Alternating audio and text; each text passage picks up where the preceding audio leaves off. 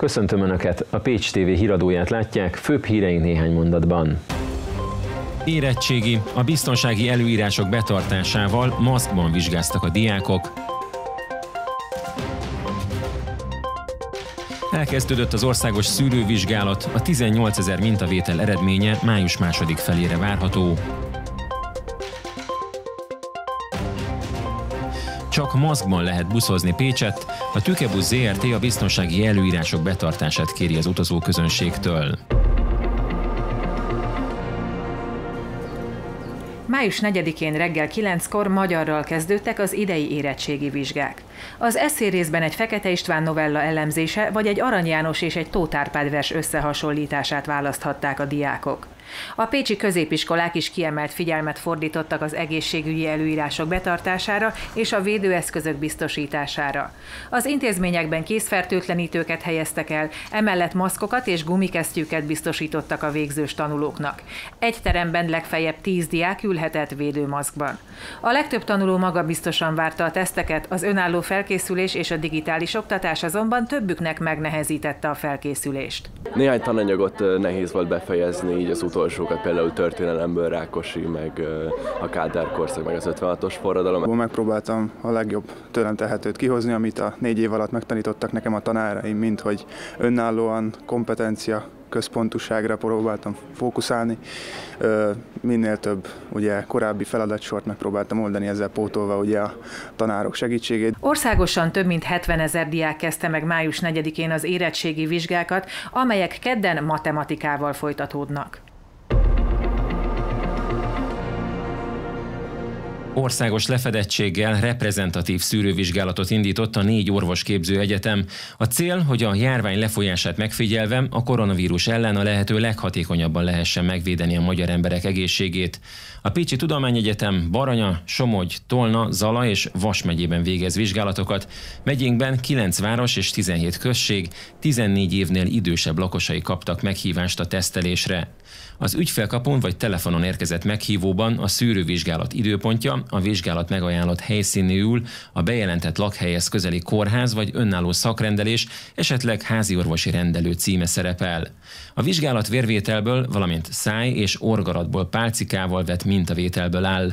A levet mintákból PCR vizsgálatokkal megállapítják a vírus esetleges jelenlétét a szervezetben, illetve további vizsgálatokkal az immunrendszer válaszáról is kaphatnak információkat. De nem csak az derül ki a vizsgálatból, hogy az érintett fertőzötte, hanem az is, hogy átesette már a fertőzésen. A mintavétel május 14-éig tart, az eredményeket a hónap második felében hozzák nyilvánosságra. Aki részt vesz a vizsgálaton, az kivétel nélkül értesítést kap az eredményeiről. Csak maszkban lehet buszozni hétfőtől Pécsen. A tükebusz bejelentette, hogy egészen a járványveszély végéig kizárólag szájmaszkot viselve, vagy sállal, kendővel eltakart arccal lehet utazni a városi járatokon.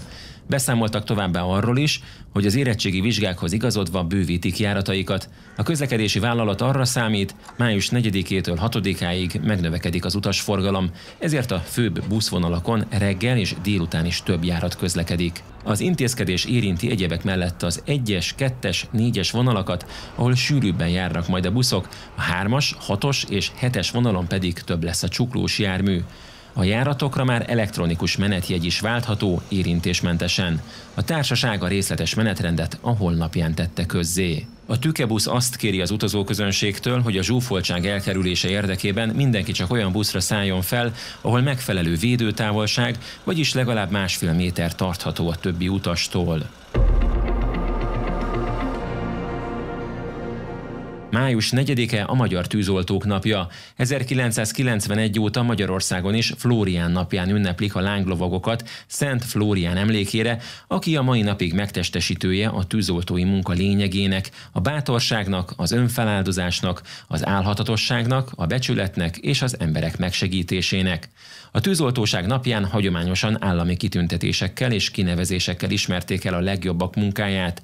Pécsről hárman részesültek elismerésben, Klaics Kovács Márk János tűzoltó zászlós, a Pécsi Hivatásos Tűzoltó Parancsnokság különleges szerkezelője, az év tűzoltója miniszteri díjat kapott.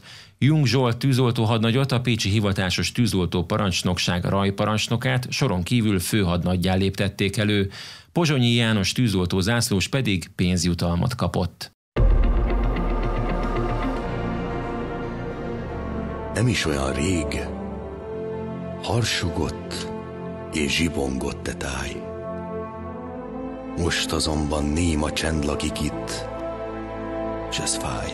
A járványhelyzet miatt idén elmaradt a rendőrnapi majál is. A Baranya megyei rendőrfőkapitányság azonban megtalálta a módját, hogy méltó módon megemlékezzen a rendőrnapról és az idén száz éves fennállását ünneplő szervezetről. Elkezdtük nézegetni itt az archív felvételeket, hogy hogyan és miként ünnepeltük korábban a rendőrség napját, és ekkor kerültek elő azok a fényképfelvételek, videófelvételek, amelyek a Zsolnai negyedben készültek. Hatalmas tömegek, sok gyerek, és igazából ekkor merült fel az ötlet, hogy egy, egy kontrasztot mutassunk, hogy noha nincs közösség, nincsenek gyerekek, nincs nyilvános rendőr, rendőrnap, azért mi megünnepeljük.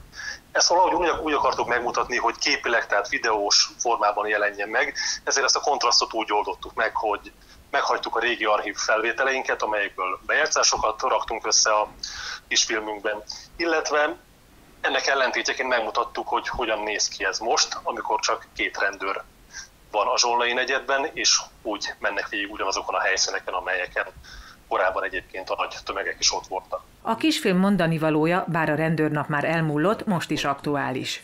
Nagyon fontosnak tartottuk, hogy legyen egy mondani valója, egy üzenete a videónak, ami azon amellett, hogy végig megyünk ezen a kontraszt hatáson, a végén ugye ott van az, hogy biztosan minden jobbra fog fordulni, és a rendőrség itt van, hogy ebben mindent megtegyen.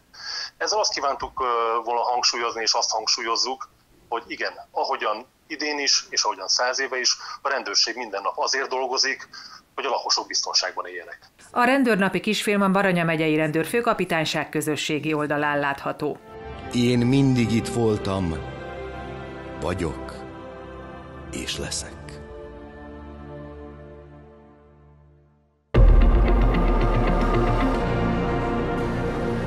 Hamarosan visszatérhetnek a fiatal kosárlabda játékosok a Nemzeti Kosárlabda Akadémiára. Az akadémia hétvégén megjelent közleményében tájékoztatta sportolóit és szakmai edzőit, miszerint a kormány legfrissebb rendeletében egyebek mellett engedélyezi a sportegyesületek által szervezett edzéseket is. Az akadémia tájékoztatójában kiemelte, hogy kérik a Pécsi Tudományegyetem virológusainak segítségét. Az ő közreműködésükkel biztonságos körülmények között nyitnak újra. A Rádgéber Akadémia az elkövetkezendő napokban e-mailben és a közösségi oldalaikon tájékoztatja sportolóit a továbbiakról. Főbb híreink még egyszer néhány mondatban. Érettségi, a biztonsági előírások betartásával maszkban vizsgáztak a diákok, Elkezdődött az országos szűrővizsgálat, a 18 ezer mintavétel eredménye május második felére várható. Csak maszkban lehet buszozni Pécset, a Tükebusz ZRT a biztonsági előírások betartását kéri az utazóközönségtől. Híradónk végén néhány szó az időjárásról. Hétfő késő este 12 fok körül alakul a hőmérséklet, kedden egy újabb hidegfront érkezik, hajnalban többfelé lehet kisebb eső, zápor, a legalacsonyabb reggeli hőmérséklet 8-10 fok körül alakul.